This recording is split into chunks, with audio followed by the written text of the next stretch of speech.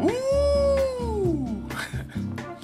Willkommen mal wieder zu einer neuen Folge Ramses Review. Straight outer Schlafanzug, wie ihr seht, aber die Mütze darf nicht fehlen, denn es ist Samstag. Irgendwas. Heute ist auch Loturzel Feldforschungstag bei Pokémon. Das heißt, ich muss gleich raus um 11, wenn es losgeht.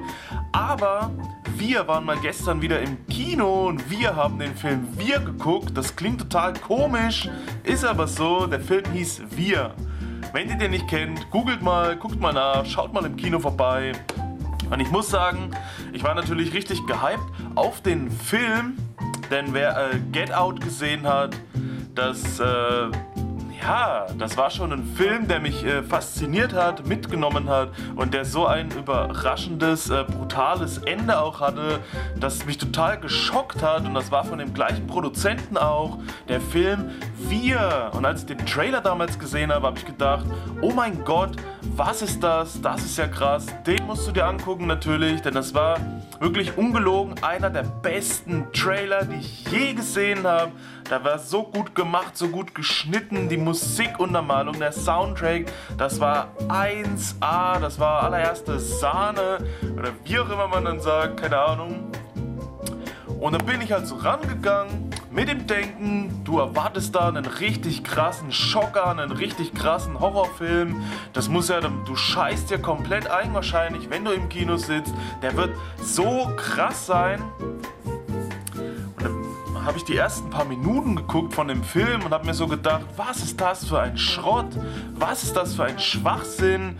Was soll das sein? Ich meine, okay am Anfang, ganz interessant. Hier wurde die Familie vorgestellt, alles hin und her, ein bisschen so das Zusammenspiel. Dann hat es auch nicht lange gedauert, bis die geklonte Familie sozusagen, diese Zwillinge, aufgetaucht sind vorm Haus, wie man es auch im Trailer gesehen hat. Da steht eine Familie in unserer Einfahrt und da hätte ich mir schon in die Hose geschissen, einfach nur mitten in der Nacht und die stehen einfach da, bewegen sich kein Millimeter, nichts. Und dann ist die Szene so ziemlich, ja, so sagen wir mal nach einer halben Stunde oder so, fängt es dann halt so an und die Familie steht in der Einfahrt und du denkst, wow, krass, was passiert jetzt? Denn der Trailer, der hat ja nicht so viel gezeigt und so viel verraten, außer dass es da wirklich ums Überleben geht und richtig brutal zur Sache. Dann stehen die also da und dann passiert erstmal nichts und dann geht er dahin und dann wollen die ins Haus kommen und du denkst, boah, die Spannung erreicht ihren Höhepunkt, was passiert jetzt? Und dann sitzen die mit dem gemütlich, äh, mit denen gemütlich auf dem Sofa sozusagen und die Anführerin, also die Mutter von der Klonfamilie, fängt an zu reden und in dem Moment hätte ich das Kotzen kriegen können, wie die geredet hat, äh, wie die gesprochen hat, wie das äh, das war nicht gruselig, das war, das klang einfach so dämlich und so behindert. Alle, die im Kino gesessen haben, hatten keine Angst, haben sich nicht eingeschissen, die haben alle gelacht. Die haben gelacht und Leute hinter mir haben schon gesagt, oh, was ist das für ein dämlicher Film und wäre mal lieber in Dumbo gegangen oder so. Ich hab's gesagt, noch ist nicht zu spät, komm, wir gehen noch in Dumbo und ich konnte das in dem Moment auch nicht ernst nehmen und hab gedacht, toll, das sollte so ein richtig krasser Horrorschocker sein. Du hast dich so gefreut. Und dann sitzt sie da und. und stammelt was vor sich hin und du denkst nur, hm, was ist das? Was, was machen die?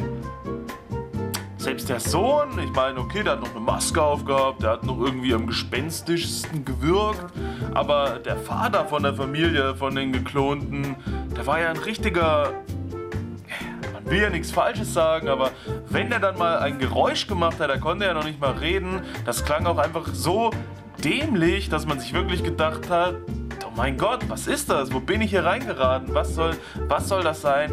Was soll das darstellen? Wurde also am Anfang des Films schon mega krass enttäuscht, hab gedacht, okay, du ziehst das jetzt durch, was willst du machen, kannst ja auch nicht einfach gehen.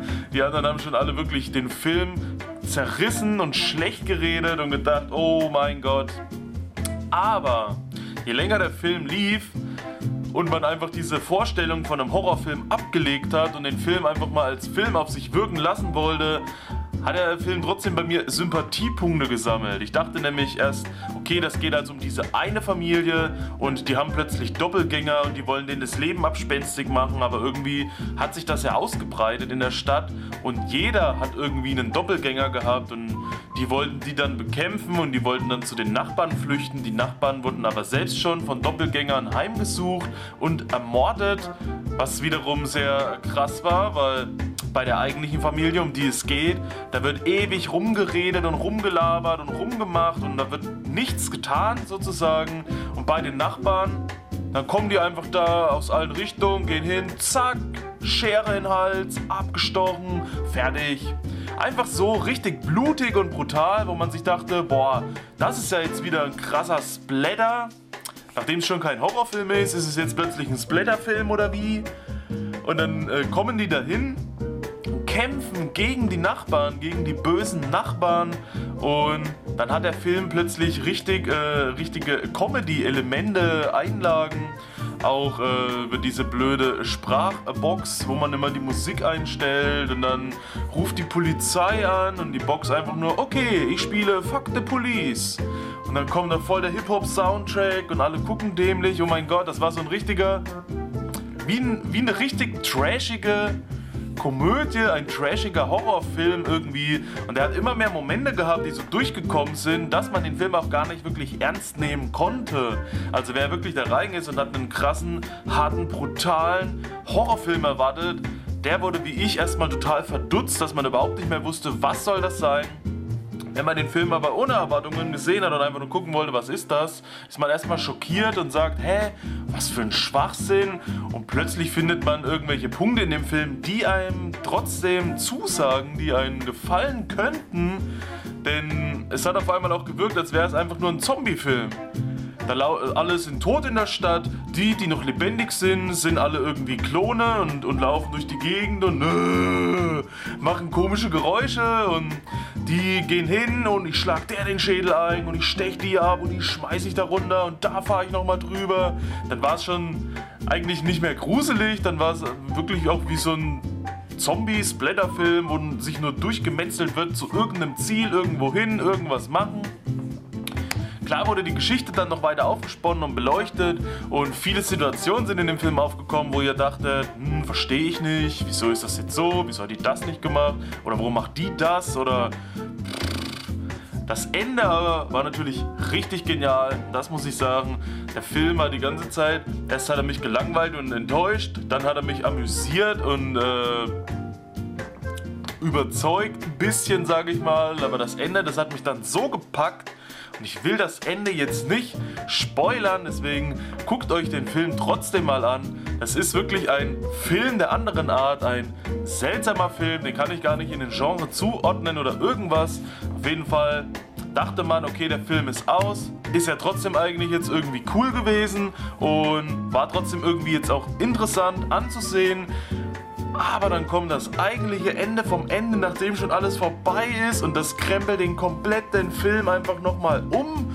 Und ihr denkt, scheiße, den Film, den muss ich mir jetzt nochmal angucken, denn mit dem Wissen, was ich jetzt habe, betrachte ich den Film beim zweiten Mal schauen natürlich aus einer ganz anderen Sichtweise. Ich achte dann genau auf die Details, die da aufkommen, jetzt wo ich weiß, was Sache ist, was Phase ist. Und das ist eine richtig geniale Sache, denn bei manchen Actionfilmen oder Horrorfilmen, die guckt man, dann sehen die aus und dann ist das so, wie es ist. Was da aber nicht so war. Der Film spielt die ganze Zeit mit seinem Genre und lässt dich äh, da sitzen und denken, ja, was bin ich denn? Na, wer bin ich? Huhu. Und dann am Ende kommt er und BÄM! Jagt dir so eine Gänsehaut über den Rücken, dass du da sitzt und denkst, was? Das muss ich mir jetzt nochmal angucken. Oh mein Gott. Hätte ich gleich danach in die 23 Uhr Vorstellung nochmal gehen müssen oder einfach sitzen bleiben. Noch nie geguckt, was passiert, wenn man im Kino sitzt. Danach kommt der Film nochmal und ihr bleibt einfach sitzen nach eurem Sitz. Ob dann jemand kommt und trägt euch raus oder keine Ahnung. Auf jeden Fall, das Ende, das hat mich wirklich fasziniert, das hat mich wirklich gepackt. Und da habe ich plötzlich wirklich, boah, das hat so gekribbelt. Ich habe so einen Überraschungseffekt gehabt wo ich sagen muss, der Film hat mich trotzdem überrascht, er hat mich gefesselt, er hat mich äh, total aufgewühlt am Ende hin noch. Und das ist krass, wenn ein Film sowas natürlich äh, äh, erreicht, macht, tut. Wenn ein Film sowas tut, ja, sagt man das? Gut, nein. Aber gut, ich würde trotzdem sagen, der Film ist jetzt nicht wirklich für die breite Masse, nicht für jeden was. Die meisten gingen trotzdem raus und naja, ich habe schon Besseres gesehen oder naja, der Film war jetzt nicht so gut oder keine Ahnung oder hin und her, bla bla bla. Aber der Film war trotzdem auf seine eigene Art was ganz Spezielles und wer auf spezielle Filme steht, der kann da ruhig mal reingehen und kann sich den mal angucken. Wir haben wir geguckt, werdet ihr auch wir gucken oder guckt keiner wir? Das ist die Frage der Frage, die sich jetzt bei mir mit mir beschäftigt. Und ich sehe schon 10 Minuten und gleich ist um 11 und gleich muss ich los. Und Friedhof der Kuscheltiere kommt auch immer näher. Da bin ich ja auch schon richtig gespannt. Aber da erwarte ich wirklich einen Horrorfilm. Nicht irgendwas mit, ja, wir machen irgendeinen Schwachsinn und die Leute lachen dann. Und hey, da sitzt noch eine Katze. Nein, das muss ein Horrorfilm sein. Das sage ich euch. Trotzdem würde ich sagen, wir Jetzt nicht unbedingt so der normalste Film der Welt, trotzdem interessant, also gebt den euch mal, wenn ihr Bock habt. Ihr müsst ja nicht unbedingt ins Kino gehen, vielleicht kann man den auch irgendwo mal streamen, Netflix irgendwann. Oder ihr kauft euch die DVD, wenn ihr euch mit 20 Mann da reinteilt und jeder nur 1 Euro bezahlt, dann geht das natürlich auch. Ansonsten war ich wirklich überrascht, hab das so nicht erwartet. Und das hat man selten, weil meistens weiß man ja, was man kriegt, meistens weiß man ja, wo man hingeht und was einen dort erwartet. Da eben nicht. Und das war das große, äh, ja, das große Ganze, keine Ahnung. Das war es aber jetzt von meiner Seite aus. Wir sehen uns beim nächsten Mal wieder, denn das nächste Kino ist gar nicht so weit weg, sage ich mal, der nächste Film. Bin gespannt, es kommen noch viele tolle Sachen. Happy Death Day to You wollte ich ja auch noch gucken oder den Lego Film 2. Aber den habe ich, glaube ich, verpasst. Der kommt schon gar nicht mehr. Und ja, das war's von meiner Seite aus. Wir sehen uns beim nächsten Mal einfach wieder. Bis dahin, Peace out, Vorhaut, euer Ramses.